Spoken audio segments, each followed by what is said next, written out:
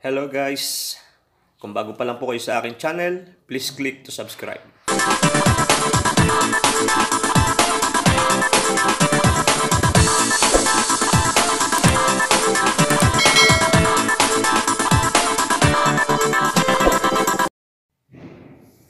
So, ayan guys, sa video na to, tuturuan ko kayo kung paano magtagal ng watermark sa inyong power director.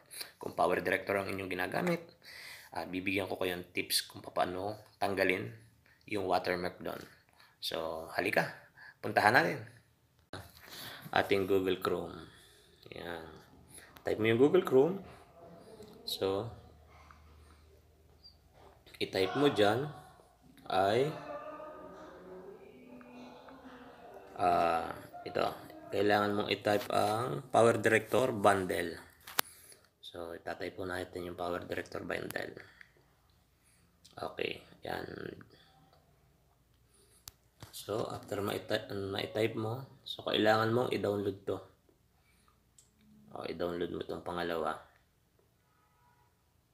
so after ma-download mo yan so na-download mo na yan i-click mo yung download.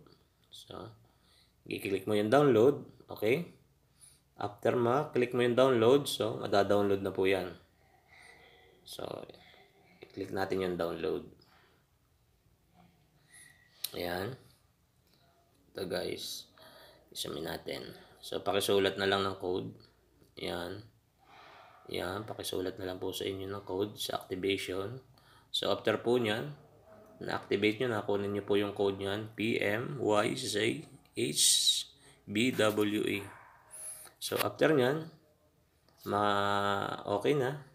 Okay nyo lang po. Matapos na natin ma-download yung ating power director dun sa Google, uh, Google Chrome at inalisan na natin ang watermark.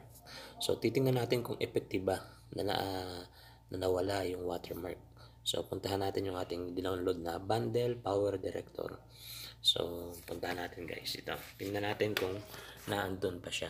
So, kailangan na niya, nandito na tayo sa Power Director. So, kailangan natin uh, i-create ng new project. So, tingnan natin yung new project. Tapos, press no? Okay.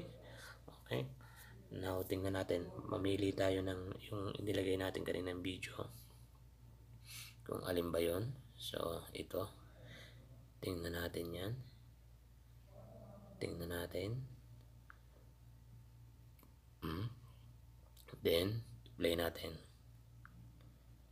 So, ayan guys. Uh, share ko naman ngayon yeah. So, wala na. Wala na siyang watermark. So, wala na siyang water, watermark dito sa gilid. Kanina nakalagay yan sa gilid, di ba? Nakalagay yan sa may banda na yan. So, ngayon wala na siyang uh, watermark. Nakalagay siya kanina sa bandang gilid na to. Ayan, wala na siyang water, watermark. So, effective yung i-download natin sa Google na uh,